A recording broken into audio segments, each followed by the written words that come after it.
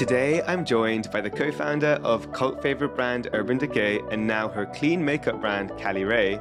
Stay tuned for a chat on what goes into creating a cosmetics brand with sustainability factor and what's coming next for the brand.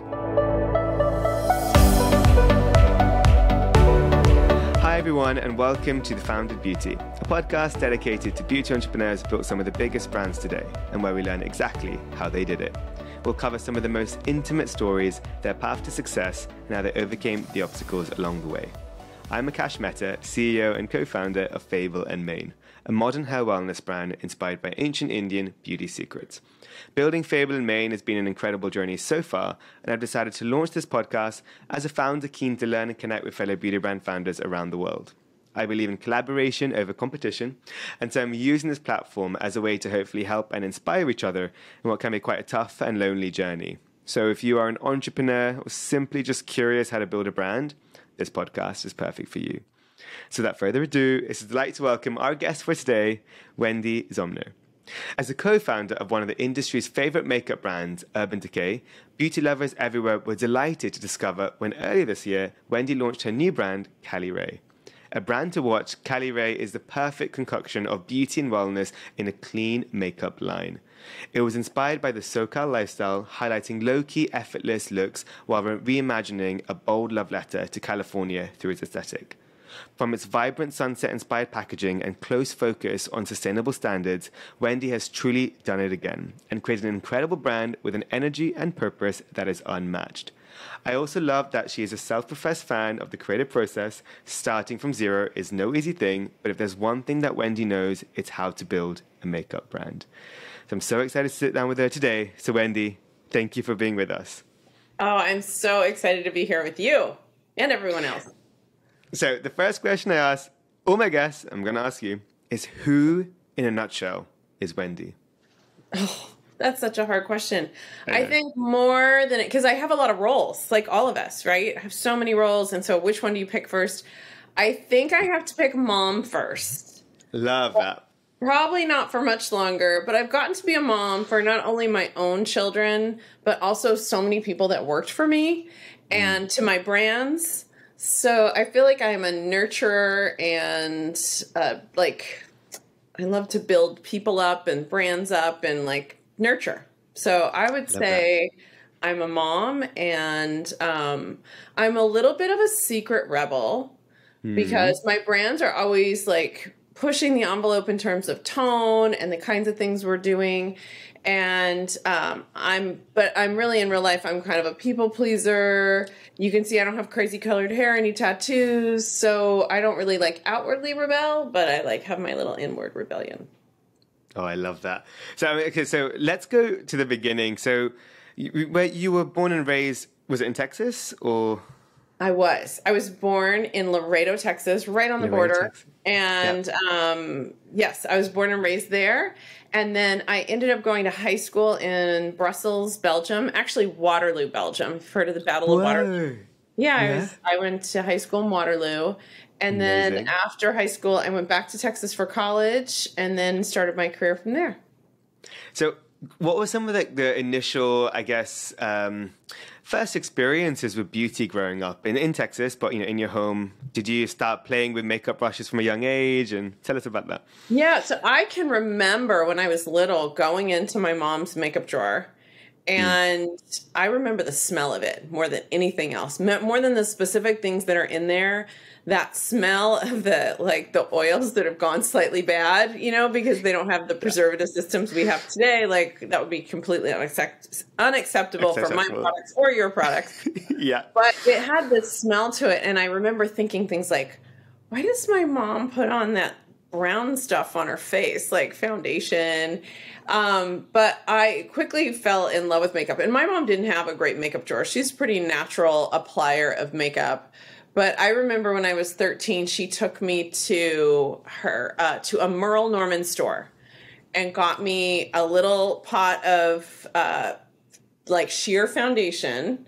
And she said, It's really important you wear this because I grew up on a cotton farm and she had all of these brothers and sisters. She had 12 brothers and sisters, seven sisters, and they would be outside all day picking cotton. And she said, We all glammed it up to go pick cotton. We all wore our makeup and the girls at the farm next door never wore any makeup and their skin looked really bad. So this was before people were talking about sunscreen, sunscreen, sunscreen. My mom had somehow figured out that if you put at least something on your face, right? It probably had a ton of titanium dioxide in it, this like old school like pot of makeup. And um, she's like, you gotta you gotta wear makeup and protect your skin. So um, that was kind of my first like start into makeup, and then I got really into the eyeshadow stuff. I so I started getting like I was at a friend's house, and she had a 17 magazine. I was really excited about that, and I started like looking at the pictures of the models, and there was Brooke Shields, and she just had this amazing eye makeup on. So I would tear out her pictures and put them on my mirror in my bathroom and then my mom also gave me a big like case of makeup, like one of those really cheap ones um, that they have at holiday time. And I would sit there and recreate the looks. And I really fell in love with doing my eyes. Like I loved yeah. putting eye makeup on. And I loved it so much that when I was 13 in eighth grade, I got sent home from school for wearing too much makeup. And you have to remember, this isn't like some normal place. This is Texas. You know how hard it is to get sent home from school for wearing too much makeup in Texas? um, pretty hard. So that was kind of, you know, my first love affair with makeup was right when I was about 13. And when I realized that makeup really was this whole idea of self expression, hmm. when I was about 16 or 17, I was coming out of church and the priest kind of sought me out and he said, You know, I really think you're hiding behind that mask of makeup and you need to come to terms with yourself. And I thought to myself, You have it all wrong. I'm actually not hiding anything. I'm showing you all of it. Like, I'm showing you how I feel today. I'm showing you all of it. And that was really how I always viewed makeup was it was a tool to sort of like express whatever I was feeling. And that's really sort of the genesis of urban decay was you know back in the mid 90s i mean this was probably way before your time but the makeup world wasn't this like technicolor dream it is today. It was kind of like a sad place actually. Um yeah. you know prestige makeup was all like pink and beige and red. It was kind of boring. And so you could get color, but it was at the drugstore and it was kind of poor quality. They didn't really like take people seriously if they wanted to wear brightly colored eyeshadow, I guess. So um, I just felt like makeup was more about aspiring to look like someone you would never be. Right? Mm, I was mm, never going to be so like true. the skinny, blonde, blue eyed, even featured, perfect girl that was on every single makeup ad. Mm. And mm I felt like makeup marketing was more about like pushing you at that time. It was about pushing you to like feel a little bad about yourself so that you'd buy their product so that maybe possibly you could look a tiny bit more like her.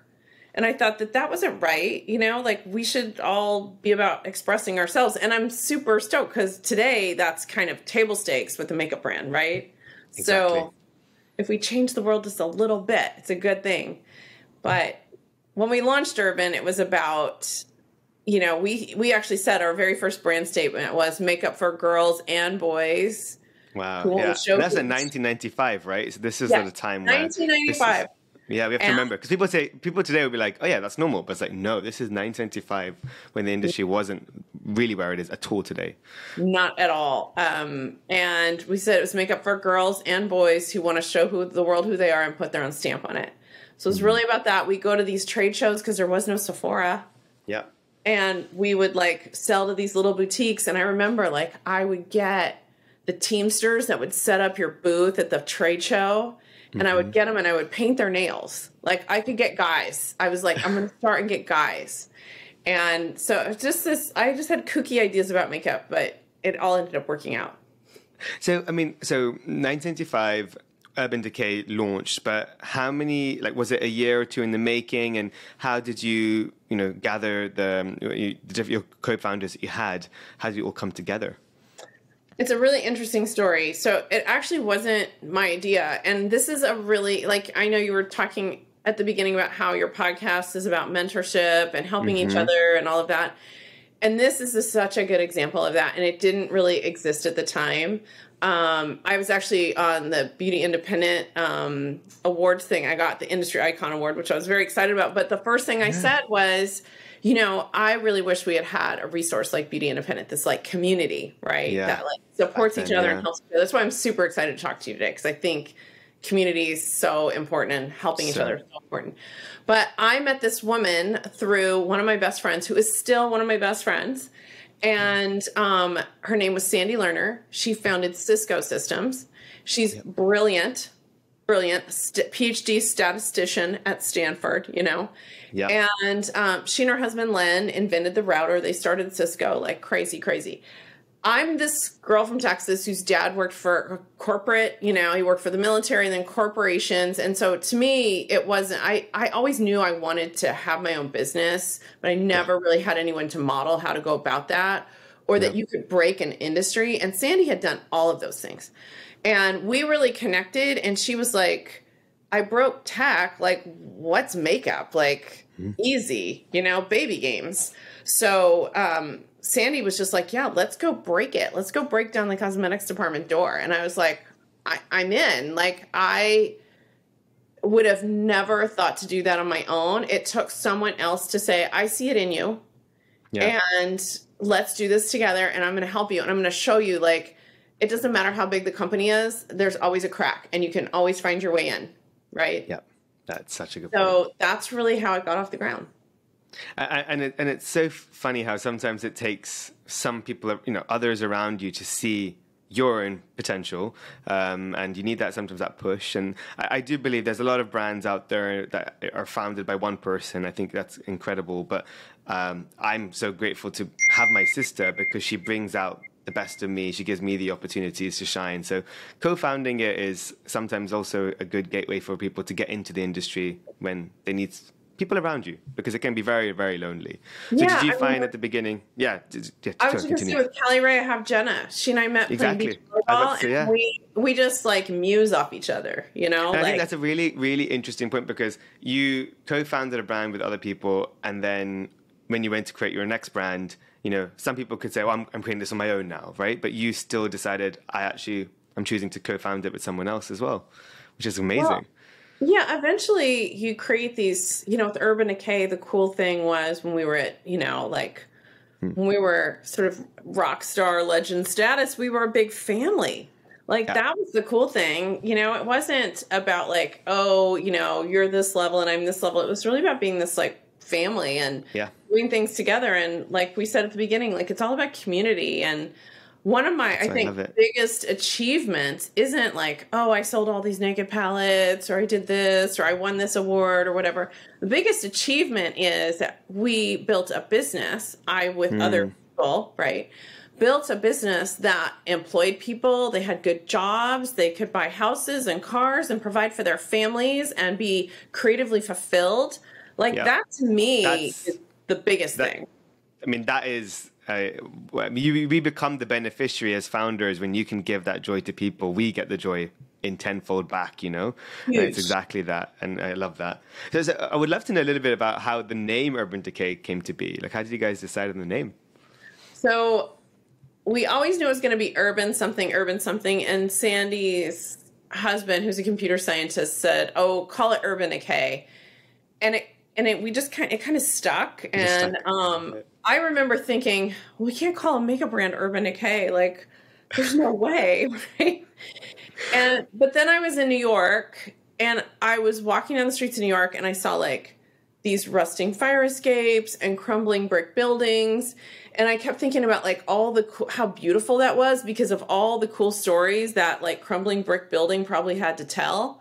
Mm-hmm. and i had lived in this loft in chicago before i moved to california and met sandy. And it was an illegal loft building. We had 4000 square feet. We were not we were squatting absolutely not supposed to be not squatting we were paying rent but it was supposed to be yeah. a business right? Yeah. And the building was this really cool old building that had all this history. And i went and actually researched all the history. And it turns out like frank sinatra used to hang out in the penthouse area when he was in oh. chicago and like there's all this like cool stuff that happened there. And i wrote a story about it because i was so like into the history and what this like plain brick building, like everything that had gone on there and how how much depth there was. And if you think about it, like that's what Urban Decay really stands for. If you think about mm. all the things I said that matter to me about like makeup not being superficial, about expressing yourself, about, you know, like showing your own form of beauty, that is really what those buildings represent. Buildings that are like crumbling a little, like they're really sort of like got this really unique beauty, not a yep. flashy beauty, um, and kooky beauty and there's a lot of story back there. There's a lot to tell. And so that is really what the name's about.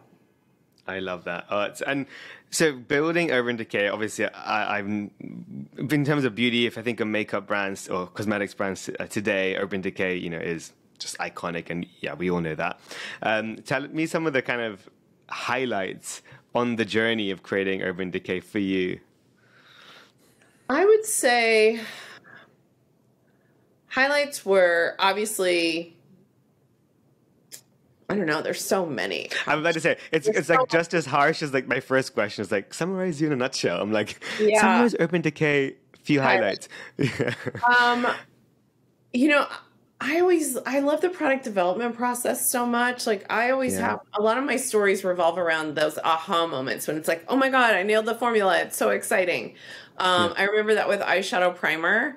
Um, and you know, at the time I was working with Tim Warner, who's since been insanely successful at Drunk Elephant and some other places.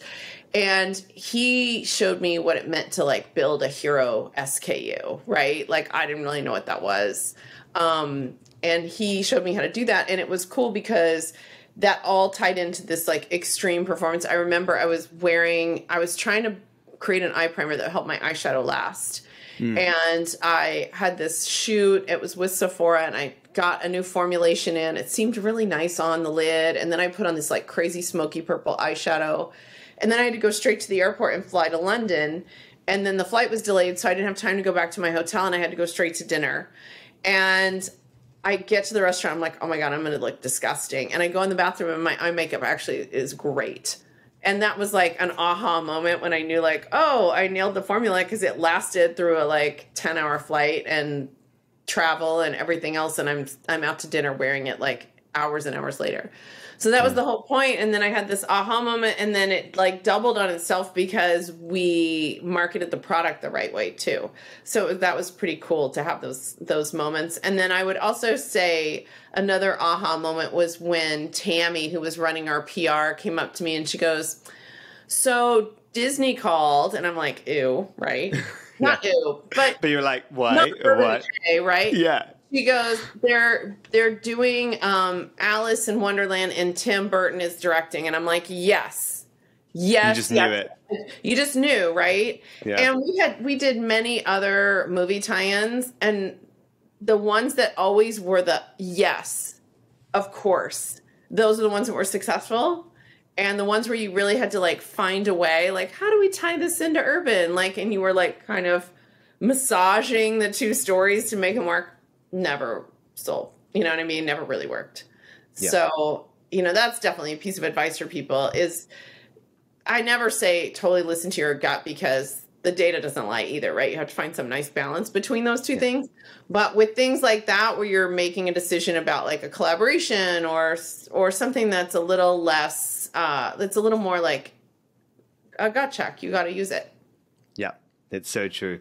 Now, I, I love that and especially like hearing the, the product development part, like for me also, it, it's it's it's for us, it's it's like giving birth to a, you know something, a product, and when you know it's it's always risky and it's scary at times because you don't know how you know disruptive it is, how well if received it's going to be, and just seeing people love something you're creating that now even today you know is staying out there for for many years to come. It's it's it's there's no feeling quite like it, um, and I'm sure like for you when you saw the reviews coming through as well, that must have been such an incredible feeling just to see people enjoy and love the products. Yeah, so. and I mean, even pre like the era of reviews, it was really exciting to and hit in person. sales team, right? Yeah, exactly. Yeah. I remember when I was a little kid, and this is like people should remember this if you're struggling in your entrepreneurial journey or your creative process. Like, think about this, right?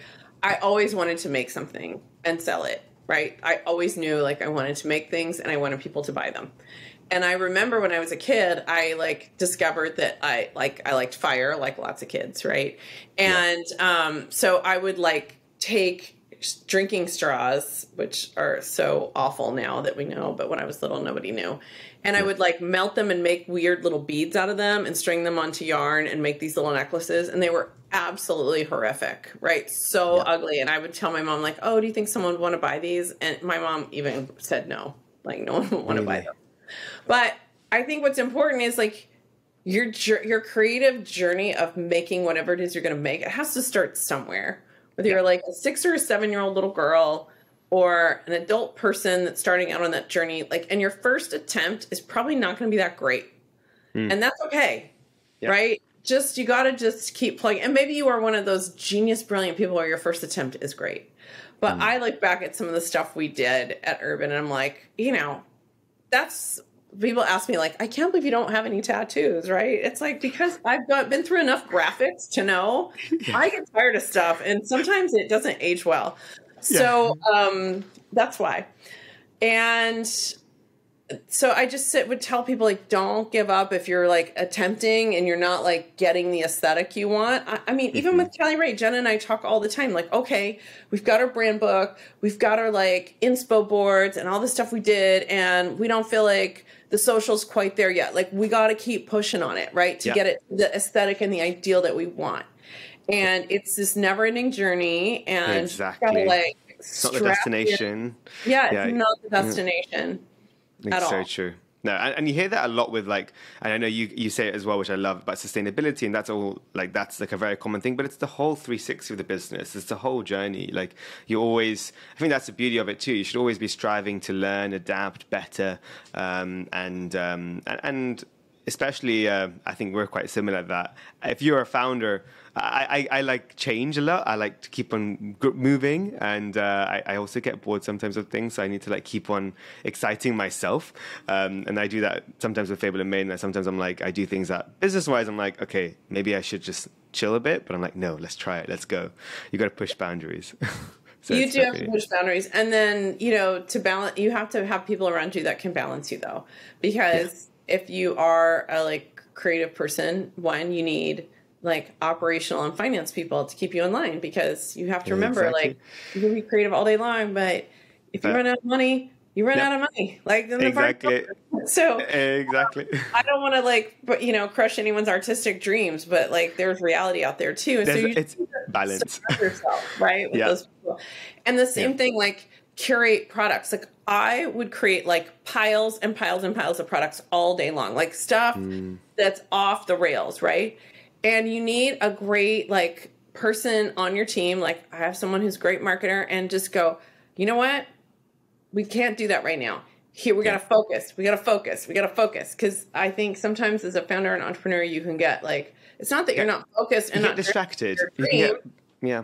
You get distracted by shiny objects exactly and, uh, and and and it's about sometimes saying okay, it's there. We're not going to say no to it, but when? Maybe not today. Maybe in a couple of months' time or a year's time, and and, and maybe by then things have changed, and maybe we'll move, we've moved on. So it's it's actually important to have that. And I think what you said is really important to also remember, like to people building brands, is if you know your strengths and weaknesses, hire people around you and keep them close that can balance those things that you perhaps lack, right?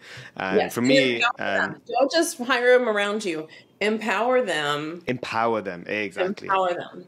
Yeah make them feel part of it and make them feel heard and listen because that's why you, that's how you keep them around you too. It's very important. It's why you need them you know you yep. hired them for a reason. So exactly.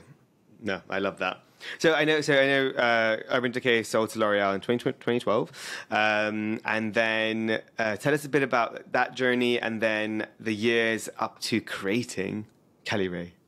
Yeah, so that was a really incredible journey. We got to a place with Urban where I always tell people it felt like we had so many hits. We were so big in the US. It felt like it felt like I like band playing these arena rock shows all together, right?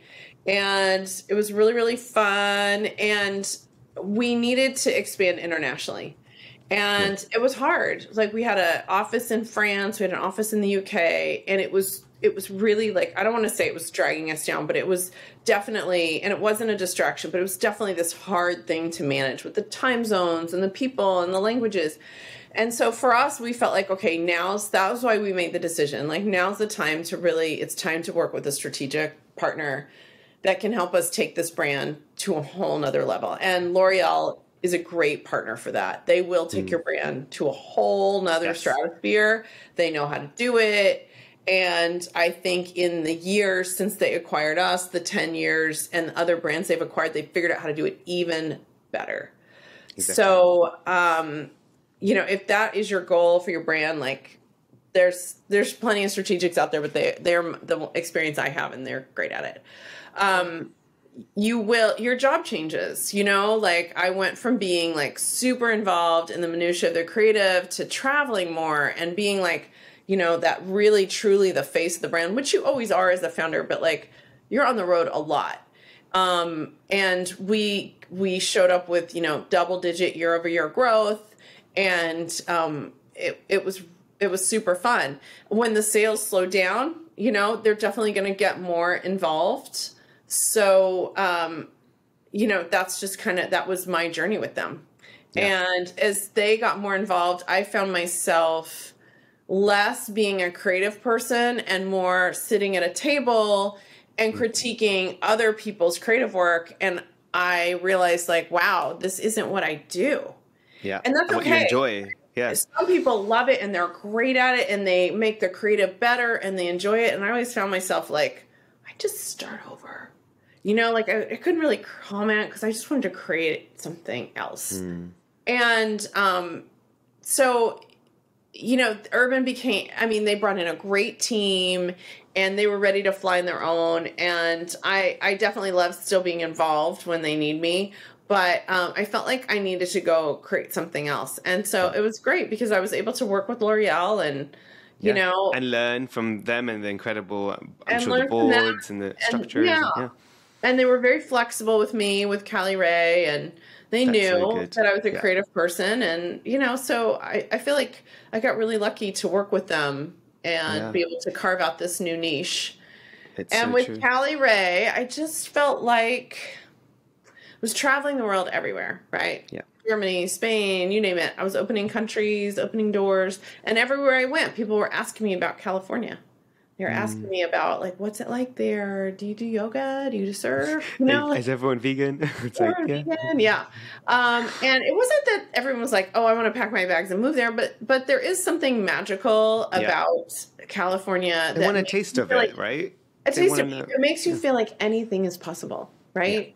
I think because of the wellness lifestyle, right? And when you have your health, anything is possible, yeah. right? And so I think it makes people feel like anything is possible. And so I wanted to capture a little bit of that dream because I was the beneficiary of that. Like, I'm a girl from Texas who would have never thought in a million years. And I moved to California and I met a cool person and started a brand, and like the whole California dream came true for me. And so, how do we like package that up for people in their everyday lives. And at the same time, like there was an important thing at Urban Decay that was completely invisible to the outside world, which was my obsession with wellness. So mm. I'm like a secret full on hippie. I had both my kids at home um, on the floor. Um, and I've always been into like super wellness stuff, my diet, you know, what I eat, everything, like checking all the ingredients. Um, Urban was one of the first brands to take parabens out of all their products. Nobody knows that because nobody cared wow, back then. Yeah, yeah, nobody cared, and it, it wasn't a thing, right? You couldn't mm. market off of it. I was just like, we shouldn't have parabens in our products. We got to get them out. Mm. Um, we were one of the first brands to start exploring, like, could we start molding components out of a bio-based plastic? Yeah, and um, at the time, it wasn't it wasn't possible um, you ended up actually creating a bigger carbon footprint, but we actually went through the exercise of molding things and seeing if we could do it. And uh, we had a biodynamic garden that people could pick their lunch in. We had a dog friendly policy so people could have their like little companions with them. We offered yoga. Like we were this super groovy, wellness based company, but it wasn't really like one of our pillars. So we didn't really talk about it that much. But this has been something that's always really important to me. In fact, we even I even designed the whole office, which was Yeah. an expansive like four building campus. Um to be all made out of all non-off gassing materials. So the indoor air quality was really good. We had plants in all the buildings so that the indoor air quality was really good. Um, so all of that was really important to me. And so I thought, well, if I'm going to do another brand, like that's going to be an important front and center pillar because it's important to me. Yes. So, so I'm going to put it out front, and that's what we did with Caliray. And then with the other piece of it, with the sustainability, I was on a surf trip with my family. We were out Yeah. in the middle of nowhere, and you know, my boys were out ripping it up. I'm exhausted, and I'm like, I'm going to go into the beach and hang out. And I get onto this deserted island where we're surfing, and I park my board, sit down, and I'm going to take a hike through the through the little jungle. And I can't because it's filled with plastic trash oh, out in the middle of nowhere. Of nowhere, yeah. And I thought to myself, like, this is really bad. Like, I probably like there's probably a lot of naked palettes in landfills. Yeah. Like, what's so you know what's the mission now? Like, the mission before was to sort of change people's perspective on who was beautiful and what beauty mm. meant. And now I feel like the perspective should be like, hey, how can we lead this industry? Because you know, I always love Jenna always says like, well, people aren't going to just start putting avocado on their face or in their hair, right? They're gonna mm-hmm. they're gonna put products. So how can we create products that have the least impact? How can we um, work as a community and learn and teach each other how to make more sustainable things or things that are less harmful to the environment? And we're just starting out. And I think what's cool about the sustainability space is Yeah. the road is so wide open. Like there's so much we can do now, and there's so much more we will be able to do, and we will be able to do more and more and more if more brands participate, which is Exactly. amazing. Well, and, you know what I love is how not only like you have your key pillars and you, you you're very sure of what you want to create here with Caliray, but you're also having fun on the journey as well and making it really just I think connective with people. I love when I was going to your website, you have like sexy sustainability, um, and I I think I was seeing. It was like your your name was like Khaleesi, like the queen. Like is it like Oh, the yeah. Game of Thrones, right? And that was like, dude, you watch Game of Thrones? I'm assuming. oh yeah, that's what my Yeah. husband, my oh look, this is what he gave me for my birthday. oh, Khaleesi. I love that. And I was like, that is exactly. And then I, I know uh, Jenna, what was hers? Um, the vibe. The biologist. Vibologist, Yeah. and I thought that was so cool, um, and it was like really big. So it was like it was like a nice way to like, for me when I went there, I was like I also understood in a word what kind of vibe are both of you guys, right? So I think it's really important when creating brands today is how do you connect with your audience and just uh, obviously like have your pillars and everything, but just go a bit more personal. I think that's what Caliray is for me. Um, and and do you feel that's something that you from day one were like, I'm not going to sacrifice that. That's exactly what I want to build. Yeah, I we wanted to build something sustainable, and obviously you have to make choices. Yeah. Um, but we did. We wanted it to be something more than just a brand. We wanted it to be like a little portal you could jump into.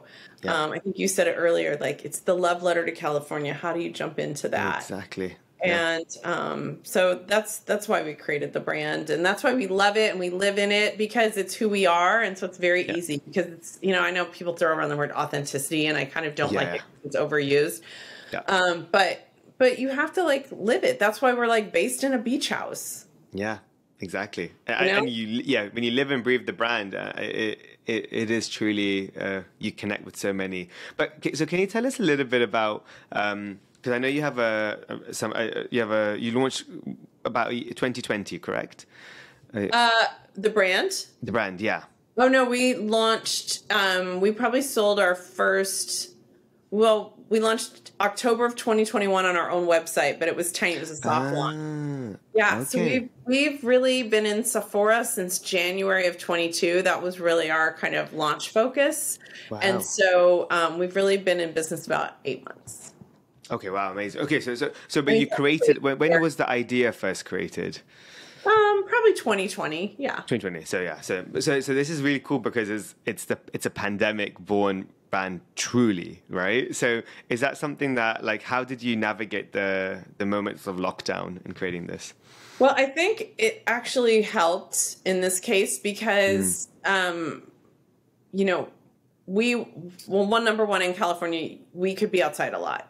Yeah. Um, and so we could meet outside. Um, Jen and I spent a lot of time, you know, on the beach mm-hmm. at my house. With like, I have a house that opens up, and it's like living outside, sitting outside in the backyard. So we were able to connect um, both on Zoom and outside.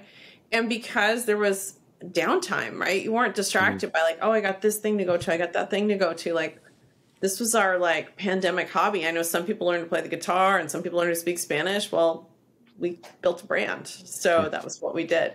Um, my friend Helen went and got her master's in public policy, which I was like, well, that's more than what I did. Like you do you. yeah. but yeah, but was super cool. Like you know, people took that pandemic time it's and they true. they made it productive, and that's what we tried to do as well. Exactly. So.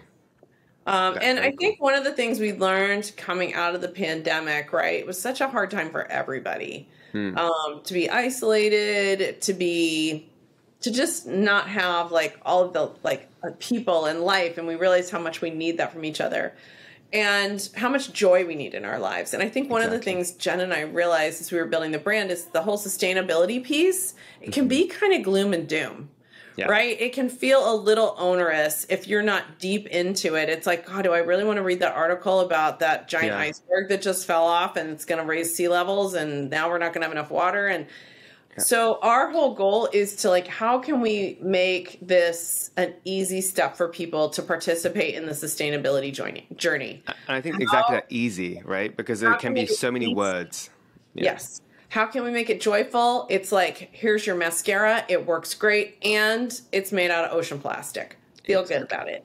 Yeah. Maybe that person because they now feel good about that choice, maybe they take another little step deeper into something else they could do. Um, mm-hmm. so you know, we always we want to be like the gateway drug to sustainability. And I think what you're, and you say on the website again, you say sustainability is attitude and action. I think that's the thing that a lot of people miss in their sustainability conversation is they focus on the action, but not the attitude. And the attitude is the way to connect with people to want to learn more about it, right? Right. And I think that's exactly it. So, I mean, now I'm hearing what you're saying. I'm like, oh, that totally makes sense. Yeah, we're each other's influencers. Exactly. So. Yeah, exactly. Um, so tell us about the product portfolio today and what people can find on Caliray, you know, .com, but also in Sephora today.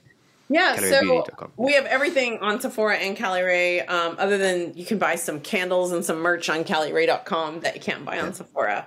Um, but we we launched with our uh, mascara. It's a tubing mascara. It just won the Allure Best of Beauty Award, which Congrats. really our first huge. Round. Thank you. That's amazing for your first year, pretty much as well. But yeah, like literally, like the first year you could win it, you won yeah. it. That's insane. Um, and so it's an awesome tubing mascara. It's inspired mm-hmm. by my love of surfing and also all of the women I have met along the way of my beauty journey who have told me like I want volume and I don't want panda eyes at the end of the day. And I was like, well, how are we going to do this? They don't want to wear waterproof because it's hard on your lashes. Mm-hmm. So, and tubing mascaras in the past hadn't really performed. So I set out to like work on this tubing mascara that would give you that long wear, zero smudge performance mm-hmm. and also be clean and also come in a sustainable package. So and you have a travel size too, which I look. I saw, I saw at the at the Beauty on the Fly as well in, in Sephora, and I was like, that's pretty cool. You know, you know when you um when you made a cult product when you get the Beauty on the Fly placement and a mini version of a, oh, of a product. Yeah. Especially so early on, so I know that's a, it's a good formula. And I already I remember seeing like online, all your reviews were like pretty much I couldn't see anything lower than five stars. So you know oh. it's a oh. good product. Uh, well, you know, mascara is a personal item. So I think yeah. if you have a mascara that's four stars or above, you're crushing it. Exactly. Because, um, yeah. you know, everyone's lashes are different and there's so many different lengths, textures, straight, curly. So it's hard to have one thing that pleases all people. So I think, um, yeah, anybody out there that's got a mascara over four stars, you deserve a hand. You do, yeah. That's um, so true. And if you get an allure wood as well. Oh, yeah. yeah. um, and then we've got pencils, um, our surf-proof pencils. These are clean. They are made with over 65% bioplastic in the barrels. So again, these aren't an ideal product in terms of sustainability because you do sharpen them away. The, the the sharpenings are not recyclable. We try to be really transparent and tell people that. Um, and the caps are made with virgin plastic. Our manufacturer isn't really ready to go to PCR in the caps because they feel like they can't get the right seal, and then the pencils will dry out. So this is something we're working on, right? We have to be totally transparent and tell people I'm not going to tell you my pencil's perfect, but we're working on it. We're trying to get there. Exactly. Um, Going back to your point, it's journey, right? Journey. Uh, we also have a skin tint. I love this skin tint because it's really flexible on all kinds of undertones and shades. Um, I can I I have a friend. Um, he actually works in stores for us, and um, he's very different skin tone than me, but we wear the same skin tint shade, and it looks great on both of us. And I think it's cool because what I tried to do was create something that had like a natural blurring effect to soften Yeah. everything out, and a lightweight pigment and a lightweight texture that's really hydrating on the skin. So you mm-hmm. get that like really beautiful finished polished look without a lot of coverage. So your skin shines through. And that's really the idea behind it. And that is also in a package that is over 75% ocean plastic. So mm-hmm. another one you can feel pretty good about. And we have a uh, plumping lip gloss that's got no burn. It's really glossy. It's like an oil balm, but glossy like a gloss, and has a high level of Maxi-Lip, so it does plump over time. So use it for 30 days, and you'll see a like extended, you know, plump. Um, but it does plump immediately with like agents that don't burn, so that's kind of cool too. Um, and that comes in a bioplastic sugarcane based tube with a cap that's almost 100% post consumer recycled plastic, just a little bit that isn't. Um, Yeah. And then our new like big hit is our primer, our So Blown Yeah. primer. It's done really well, and I think people love it because it really does blur out all your fine lines and all your pores. But unlike many blurring primers, it's super lightweight, so it doesn't feel heavy or spackly. It feels like a like lightweight, fresh hydrator. It's got niacinamide in it. It's got collagen peptides, so it feels like you're treating your skin, and yet your skin looks really blown out and beautiful. I went to Sephora yesterday and I, I literally tried it on and I couldn't stop touching my hand. The texture Yeah, it makes it was so soft, I- right? I was Yeah. like really confused. I was like, is this like powder on me? It was so soft. Yeah, it's got perfecting powders in it, and but Yeah. really it doesn't feel heavy. It feels really lightweight. No, it's super lightweight. Yeah, it's amazing. Very, very cool.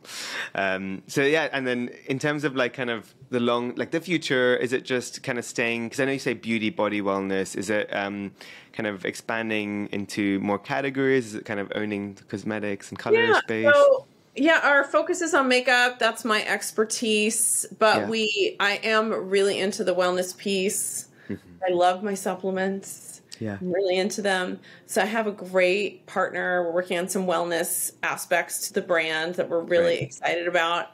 And we have a lot of new things coming for 2023 that I think people will be really excited about as well.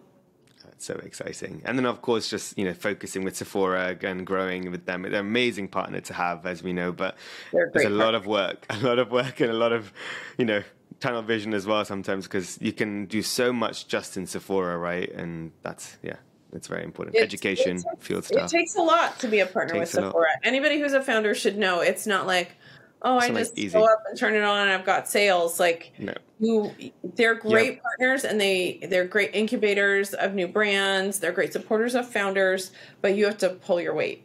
you have to pull your weight, and you have to know, like you know. It's, a, it's a, there can be a game of rankings and you know new brands come and you can never be comfortable you have to always be pushing making relationships both with your merchants your store your staff you know everyone it, it's a it's it's really again like like everything it's a journey and it, it never stops so Yeah. yeah. it's a lot of people say Sephora is a dream and it is but make sure you're prepared for that journey uh, and then yeah, that. and I will tell you, I how long have I done this? How long have I been in this Yeah. industry? How long have I been a partner with Sephora since they began? Right. exactly And even I didn't have the team I needed on board when I started. Mm-hmm. Like, even I underestimated what I would need.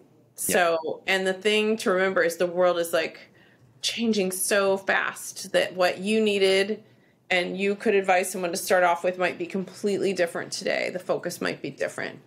And, you know, I look back and when Sephora came to the US, like none of the big brands, you know, none of the big strategics wanted to put their brands into Sephora. They were a department yeah. store. So, so I had like 12 nail polishes, 10 lipsticks, and like 15 eyeshadows. That was my line, right? Yeah. And Sephora was like, here's your three bay gondola. And I was like, what am I going to do with that? And they're like, yeah, we'll space it all out, I guess. And so, can you imagine now? Can you yeah. imagine you have a like, you know, 30 SKU line and they're like, here's your three bay gondola? Like, it's just, you know, it's laughable. Yeah. So, um, the world has changed a lot yeah. since I started. Um, but just you know, really make sure you have your resources in place to get going. That I'm not telling you to overspend, to take on things you can't take on as a brand, but really look at what you're going to need and figure it out. Like get resourceful, get scrappy, figure it out. Very, very true. And I, and I think, uh, you know, don't be afraid, especially anyone starting a brand or about to go into retail, um, you know, message and reach out to founders um, that have maybe done the journey because a lot of even just the power of a message or a call can really change a lot of decision making and, and understand what kind of brand you're building is right for what kind of retailer or you know or, and, yeah. and, and, and consumer. You know, like you're the founder and you have to like inspire people, but you also have to just like get your hands dirty too.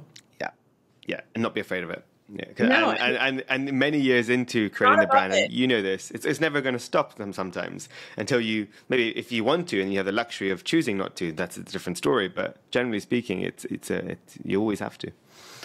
You always yeah. have to. You always have to. I'm like I pack boxes all the time. Just yeah. saying. Still. You know, I, was uh, like uh, one thing I started doing, which is which is actually a really big um, uh, something I, I want to start. I might, might, do a TikTok on it. I invite. I think all founders should do this. I was I was at an industry event yesterday, um, and I was like, every time I, people ask for the business cards, and I and I always say, oh, let's go digital, and you know, I don't want to like print stuff and whatever then I was like, but then also people always ask me like, oh, I'll try your brand. I want to try it. And then I always end up saying, oh, like I'll send you something or yeah, like, and it gets complicated. And I thought, carry a bunch of like my deluxe samples, right? Like my five mLs, my mini oils. And I printed, I, I literally did it on like Photoshop. I printed and I cut the same type of label I put on it, but I just put my QR code and my business, right. my details. Oh, awesome. And I, I was gluing them before the event, even at the event, and I was giving them around to everyone, the mini oils. And I was like, it's such a, yeah, it was such a nice way to like get people to try your product, but also like, that's my email, that's my data. So yeah, that that's something. I have mini mascaras. I'm going to put my personal like business. Do it. I Honestly. love it. I love a, your idea. And like halfway through the event, I was like, printing it because I ran out and I was making more because uh, I had some cutout labels already. And then people were looking at it and I was like, don't bother me. I'm just uh, making some more business cards. Right literally, literally, someone said to me, I was like, I was like, oh, I used to be an artist. I used to love painting. This is like my joy. So yeah, you have to just uh, yeah pack boxes, do things, whatever. Just never stop. It's important to keep it keep it playful. It's very important. Um, so before we go into fire round questions, um, I have I'm a sort so of scared of fire round questions. Always, I, I, I know mine. Mine are pretty nice I though. I only want to come across as clever and smart, and I always and I purposely like don't really send it to guests beforehand, so like, I always get the authentic response. Um, but yeah, before I go into that, I, I, have a desert island situation. Definitely, hopefully not the desert island that you went to on your surf trip. It's going to be a, a nice founded beauty retreat, um, and but I'm being very strict, and TSA is saying, look, Wende, you can only bring one Caliray product with you. So, what is your go-to right now? Hmm. I'd have to bring that So Blown primer. I think. Yeah. I do. Why? Just because, because it makes my skin look amazing. You know what? Yeah. Maybe I'll bring the skin tint. I think the skin tint's even. You know, like just because I you can bring both. I'll let you bring both. I'll let you All bring right. both because you need them together. The, together. The, the, the, dream combo. Exactly. Yeah. Um, but I was also going to say, like that mascara will be pretty pretty needed, right? Because you'll have like the beach and it's water, like you'll st- you know it's a, yeah. all your products. Are you going to do um like a, a like well I don't know if it's needed because but mini kits and stuff, um, like discovery sets. I love a discovery set personally. Um, yeah. So I think we may have to do that. Definitely, I think with Sephora as well, it's one of the best things like we've seen is like it's such a like a lot of the consumers are just looking to trial before they purchase, and of course the minis of certain SKUs and Beauty on the Fly is great, but like we're seeing like recently our second performing SKU was our discovery set, like and it was quite confusing. We were like, whoa, what's happening yeah. here? So people are really interested in it now, is which is really cool, which is good. Okay. Yeah. Your um, your favorite moments coming up now. Okay. Fire round. so my first question is, what's another beauty brand that you're currently loving? I currently love Gwen's beauty brand. Yeah. Um, I have I've seen her. it. I haven't. Yeah. Yeah. Is it good? So I worked with her on an Urban Decay collab with her, and mm-hmm. it was really. She's a wonderful person and really lovely. And the thing she wanted more than anything was to have her own beauty brand, and mm. it came out. And then I have been using the priming oil. I've been using her lip. It's it's it's really nice. It's great. Know that we touch. I love that because I, I again I love all types of founders as long as they come in with a very kind of true reason to create it and you know not just create it and then give up and then it's just a waste. But uh, a lot of celebrities obviously are creating brands today. But i love hearing that story because it makes me feel like she's definitely like always been curious about creating a brand. She even tested the concept through collaborating with you know, right. Urban Decay, uh, figuring and then taking time before launching your own. And you can really see it as a consumer, as a viewer, as an industry lover. Like I can see when she launched the brand, it, there was such um, like a, a love and, and but also time was spent on it. It wasn't a quick rushed project because obviously you don't launch that way in a quick way. So yeah, yeah obviously you need partners always, with you. She's always it. been a yeah. makeup person yeah. And it's not, she's not faking it. She's not like, oh, I'm famous, so I'm going to make a beauty brand. Like, I put my name on it. Yeah, this I is real. Think, I think she would have been, uh, if she hadn't been Gwen, she would have been a beauty entrepreneur. That's amazing. And now yeah. she is, which is awesome. Um, what is a guilty pleasure of yours? Oh, so you're going to think this is really silly but my husband and I, um, we don't hydrate enough. And so when we take a moment and have like an evening on the couch to, you know, like watch our Game of Thrones or the new show, yeah. right? Whatever it is. Dragons, yeah. Um, so we eat like six Pedialyte pops each. Really? Yes, because they're hydrating so and they're sweet and they're cold and like so we sit on the couch and eat popsicles and binge on that. Love that. Yeah six. I love how specific. so sometimes is it even more than that? uh, well, I'm at six between us, so yes, it can be maybe eight. Maybe go to four. I love that. I love that. That's so cool. Um, so, what are you currently watching or reading? So I'm currently watching. Um, I'm currently watching the Game of Thrones thing. House of Dragons. Dragons. Yep. Super cool. Which is perfect for you because it's all perfect about Khaleesi. No. And I'm reading a book by Terry Real called Us. I'm uh, on Sunday. I celebrate my 23rd wedding anniversary, oh, and um, this is a book about marriage. And yeah. um, I love always trying to like up our game. So I'm reading that. that right now. Oh, it's awesome. Uh, do you have like a favorite social media platform right now? Well, I'm supposed to be on TikTok, but I haven't done it yet.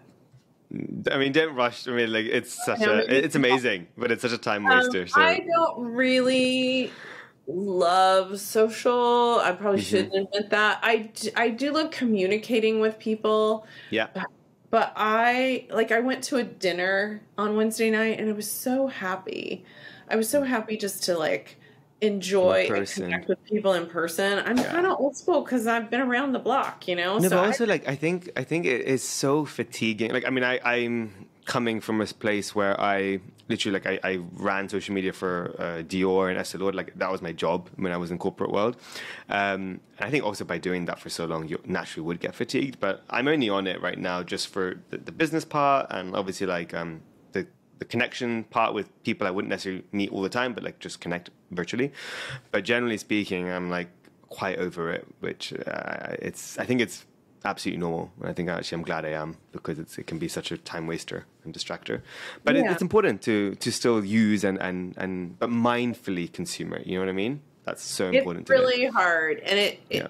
I get a little freaked out because you know there's so much misinformation And I have people I love who are affected by a lot of that misinformation. And so, I don't know, I just don't love it. Yeah, I completely agree. Well, my next question is Do you have a favorite quote or mantra? Um, I have a more of like a mantra, which mm-hmm. is uh, it's I just tell myself like balance is a dynamic state. And so I always remind myself that you have to be searching for the balance, but it's not about finding balance and parking it. It's yeah. about finding balance and then remembering like it's a dynamic state and you've got to like always be looking to make sure that that balance stays in line, whether it's family, work, anything else you're doing. Um, mm-hmm. And then, you know, in work, my mantra is like, where's the perfect balance again between art and commerce. Like how do i create a product that like speaks to people and like moves their soul artistically? And then how do i mesh that with enough commerce to make it a saleable viable product? Love that. That is so true. And, and i think that's exactly what uh, i think is missing a bit is there's not many brands and products that well that do that or even effectively do that in my way. So yeah, yeah. I mean, and I know you're in the lightning round, but this is like uh, I think a really important thing for uh, entrepreneurs to remember and founders to remember is that you know, especially in beauty, yeah, it's packaged goods. It's not fashion. Okay, exactly. It's it's packaged goods, so it's not unlike your Tide detergent, right? If you like Tide, and I'm only using that, not I know it's not a wellness brand, right? But if you yeah. like Tide, and it works for you, you will go back and you will buy it and you use it up and you will mm-hmm. buy it again. Beauty is not unlike that in that you like it, you use it up and you buy it again. But you have to remember that's why the art piece is so important because unlike your dishwashing detergent and your laundry detergent and your soap, your hand soap, maybe hand soap is beauty. Um, it has to have you have to have a, an emotional connection to that product it's not only about performance. So that's why the art commerce thing is so important because you have to create the emotional connection, but you also mm-hmm. have to mm-hmm. run it like a business, right? You exactly. have to run like package business. So yeah. that's why the beauty industry is so interesting because it is not fashion and it is not packaged goods it is this weird hybrid in between and it's exact you know it's not it's like those items you were saying that like they're sort of essential items which is why you you, you go back and you know you, you, you repeat and purchase. With beauty, it is that bridge between they're like desirable and semi partly essential, but not fully really essential, right? So that love created with the art form, for example, is is critical to keep long term because also then you have a lot of newness and then that desire part comes out more right? Because oh i'm i'm, I'm intrigued. I, I have this amazing shampoo but it's not essential. I stick to that one. It's not essential. I really have it. But i'm intrigued by this new thing. So if you don't also evolve in your art and keep on you know connecting it is you, about you, constant you, evolution, Akash. You won't have loyalty, constant. and you've seen that when you've built Urban Decay, right? You've seen the journey, and um, but also, what I love is in building Caliray is you probably saw something that it was where the industry was moving even more towards. And it's hard to sometimes, it's such a big, big brand. And, it doesn't need to keep on moving to another thing, but sometimes you have to create another brand to, to do that, right? It's hard to turn a big ship. You can't. Sure. You can't. And, and and and I actually like it's, it's one of the reasons when I left the corporate world. You know, I was in bed with Estee Lauder's LVMH, and my last job was at Dior, and I had a career there. And I was always considering myself an entrepreneur. Like I, with with my CEO, I, I was building new things that wasn't there at Dior before, and I was very fulfilled by that because I felt I was changing the company. But then I realized there's still uh, a lot I want to see in the industry, and sometimes I didn't felt it was even right to say Dior should do that, right? For example, just even inclusivity. Like I thought my dream was I was in boardroom meetings and I was like, we don't have a person of color on our face yet. You know, you think of Dior, you have like Cara Delevingne, Bella Hadid, uh, all the all the faces are not one person of color, and I was always the one championing it. And I thought, you know what? Like I don't know, like I get it, right? 60, 70% of the business is in China. Like, you know, you have to think about a global brand and a global face and it, it is what it is. It's French luxury, savoir faire. Like maybe it's okay for me to not force that, but maybe I, will create another brand that is that, right? And and maybe I can inspire the industry through my brand. And then that's when I started thinking about the barriers to entry to create a business are a bit lower today. Um, there are retailers really putting their money in betting and giving space where they might not get the productivity and the revenue in a small brand yet, but they're hoping that they can become one. And that kind of inspired me to jump ship and say, I'm not ready yet, but I'll figure it out. Let me create Fable and Mane. And then Amazing. you learn on the journey. Yeah. You learn on the journey. That's a great So, yeah. story. Yeah. Well, my last question is um, if you weren't a beauty entrepreneur or in the beauty biz, what would Wende be doing right now? Oh, I think I'd like to be a painter. Yeah. And um I mean if if physical limits weren't a problem, I'd like to be uh, a professional surfer. That'd be, yeah, Or that's the. I'd like to be a professional athlete. But so I've cool. never been that gifted. I love sports. I love to use my body. I love to play outside. But Yeah. I don't have the like I don't have that gift. But Um, yeah, the best thing is, is you still can do it for you, and yeah, maybe not compete and get the medals, but for you, Yeah. you still go surfing, right? And that's the best thing. Yeah, I'm going tomorrow. Oh, amazing. Well, I, next time when I I'm gonna I'm gonna come to Caliray House, I'm gonna we're gonna go surfing. I am. I always uh, joke with my friends because a lot of my friends are actually really good surfers in, in England and stuff. And then they, I always like pretend like they like there's a thing called kooks, right? Like which are like uh, yeah, kook. And I, and I, I I'm called Kook Slams. You should check it out. I already have. I already know. I know the cooks of the day. My friends, and basically, I've been only surfing twice, but I will say, in my proud, humble self, that I'm a pretty natural. but but but I've only done twice, so I'm probably really bad. But I got up every time, and I, I um I, I And you feel know, like I have a friend, and do it she has a surf. She's a, uh surf camp for women. Um, Yeah. She teaches women to surf, and it's called Surf Diva. And she said the best surfer in the water is the one who's having the most fun. So love that. So. Yeah. On that note, then when I come next time when we go surfing, as long as I'm having fun, I won't be able to keep we're gonna up. go to a great spot that's perfect, and um, maybe I'll drag one of my boys along. They coach surf camp all summer long, so Okay, good. Then I can feel a bit. Okay, They- I, I can get yeah. some training. Amazing. Well, where can everyone follow you? And of course, Caliray, um, um, and find the website. What, what's all the links? And I'll. So my Instagram is Wende Zomnir, and my Facebook pages as well. My um twi- my TikTok, which doesn't have any creative up yet, but I swear I'm going to do it. Bobbi Brown tells me I need to do it, so do. I mean, she's an amazing job with. She's amazing doing- at it, yeah. right? She's Yeah. like, you got to do it. Um. Anyway, so my TikTok is Zominatrix. When it when it does happen, that's where I'll be. Mm. Amazing. And um, that's it. Yeah, and you can buy it at Sephora or on CalirayBeauty.com. I'll put all the links in the summary so people can go tap straight Yeah. away. And um, Wende, it's been an absolute pleasure. And this is just the beginning of our friendship. And I'm going to come, we're going to go surfing, and um, we're going to, yeah, you're going to show me um, Newport Beach. And the fun fact, this is probably, I shouldn't admit it, but um, I was, I, I, know we were meant to record in person today, so I'm, I'm LA traffic, and next time I'll come. But um, when I saw Newport Beach, I recently, that day, I was, um, I finished selling OC and I was watching Oh, yeah. the, and then there was all a whole thing about Newport Beach, and I was like, Newport Beach, and then suddenly uh, the email came through and it was like, you know, you can record in Caliray House in Newport Beach. I was like, wait. I just saw this on Selling OC. Yeah. And, and I say this right because I'm from London, right? So I don't know California too well, but I know um, it's a, an amazing area. Yeah. Yeah, it's amazing. Where I I have kind of a fun story. So where I live, it's down and I call it the ghetto of Newport Beach. It's like little surf land. There's usually like some guy in my driveway changing into his wetsuit, you know, like little surf Yeah. land down here. Um, there's some very fancier parts of Newport, which is really where you saw like selling the, The OC. Selling OC, yeah. Yeah. Um, but I actually, so I was getting a ride home from someone and the, this guy and his wife, and I'm giving him directions back to my house. And we're driving down the hill, and she's like, where are we? And I said, oh, well, I, you know, we're in Newport. She goes, oh, I've never been to this part of Newport before. And I was like, clutch your pearls, sister. It's going to be okay. You're going to be fine. I love it. That is so funny.